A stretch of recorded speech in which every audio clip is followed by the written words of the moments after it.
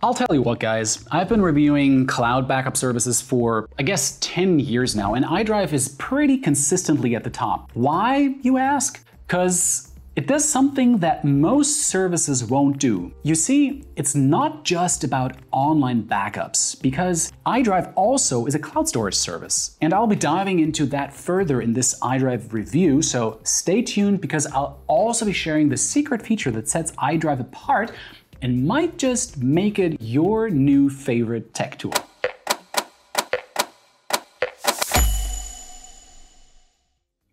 You know that feeling you get when you open a file and see it's corrupted? Horrible, right? And I know all of us have accidentally deleted files. It's an absolute nightmare when you realize it may have gone forever or you accidentally saved the wrong version of the file and the original is nowhere to be found. Well, with iDrive, you can brush those worries away. It's like a digital security blanket protecting your irreplaceable files, photos, and memories. And let's find out if iDrive is all it's cracked up to be.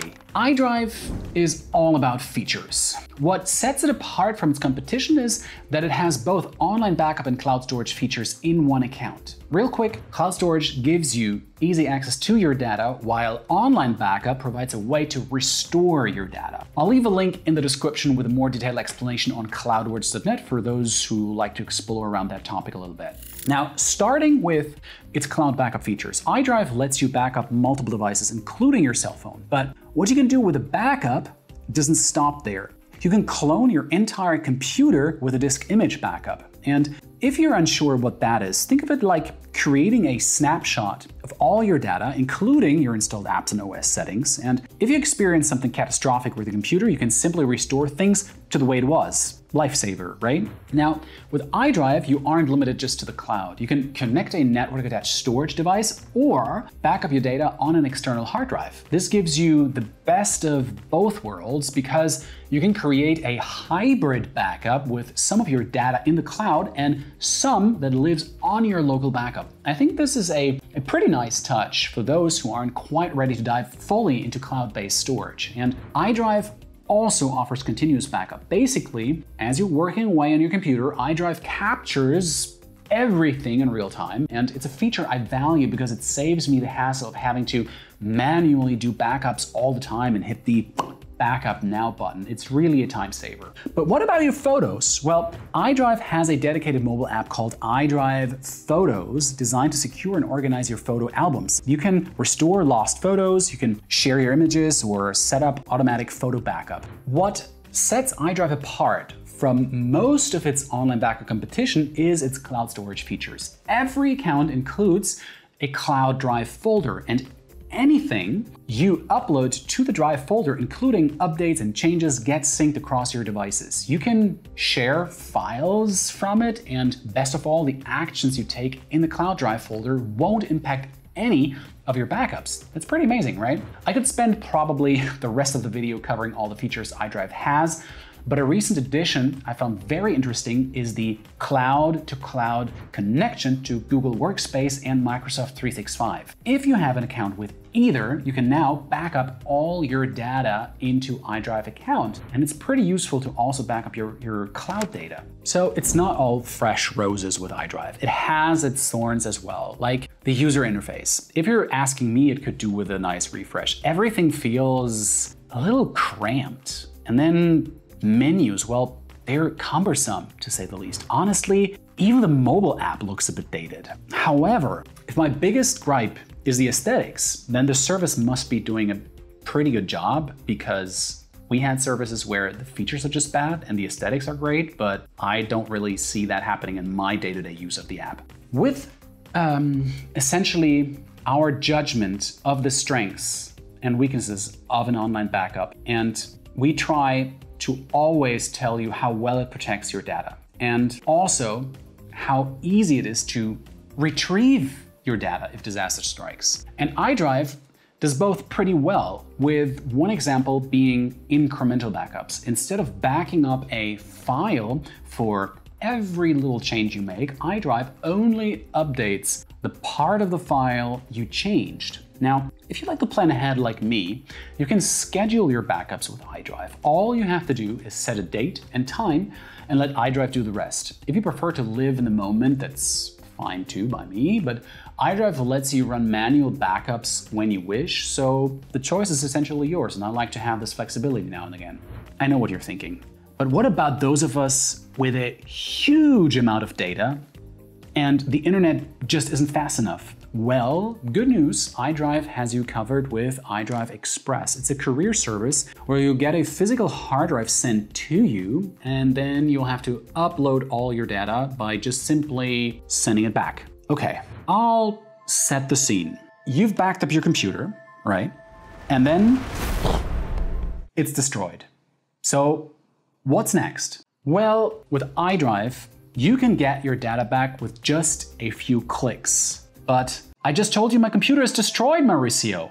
Well, don't worry, because you can restore your backup on another device, either through the app or a web browser. And this is a super convenient way of getting up and running again as quickly as possible. Personally, I would recommend using the application because it gives you a few more options than through the web interface, but it's up to you. You can use uh, you can do it either way. And if you don't need to restore everything, you can also use what iDrive calls snapshots. Snapshots let you go back and recover a single file if needed, which is basically a point in time recovery of a certain snapshot of that file. And it's very fascinating and a pretty cool tool in my opinion.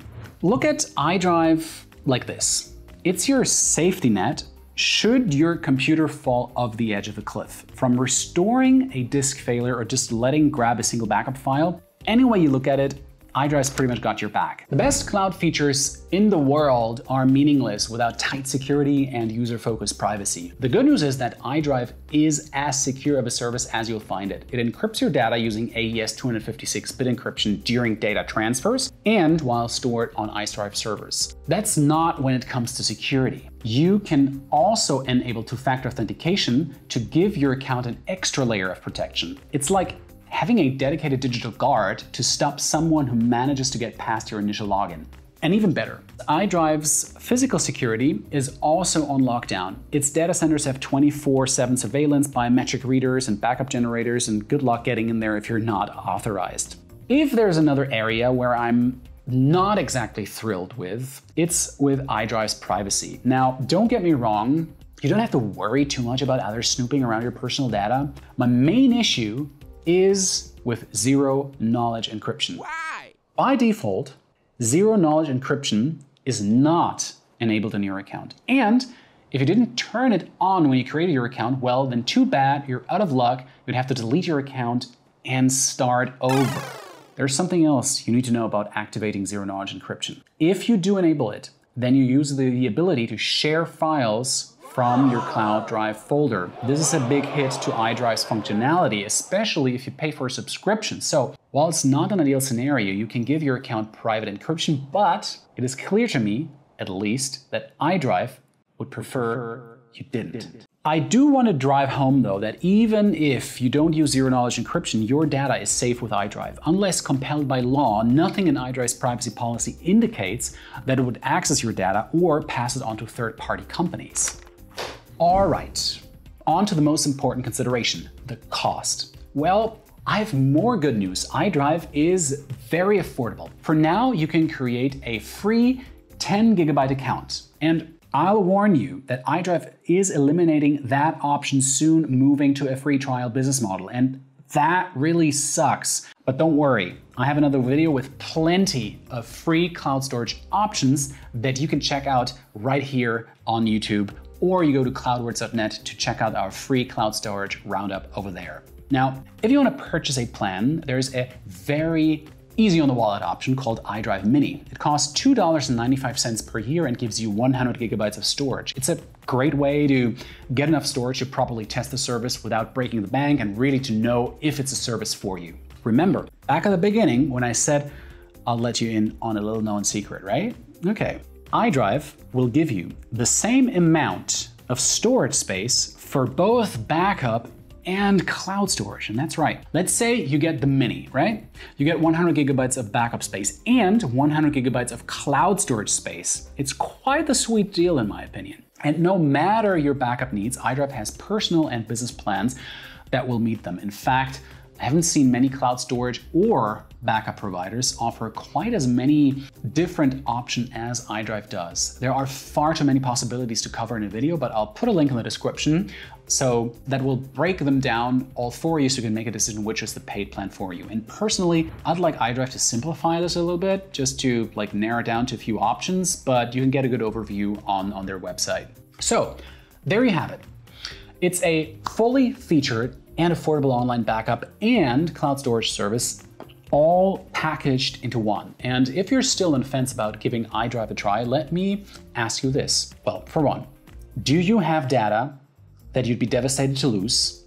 If the answer is yes, then you would do well consider using iDrive or backing up your data in the first place. Whether you use it iDrive or whether you just do local backups, please, please do back up your data because we have so many users, so many readers and viewers um, who tell us sad stories about how they lost all their precious files. So yes, backup sounds boring, but it is necessary. Do you back up your data?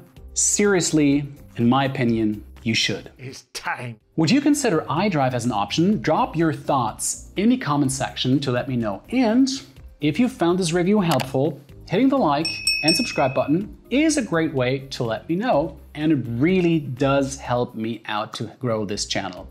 That's all for now. Keep your data backed up, and I'll catch you in my next video. Bye bye.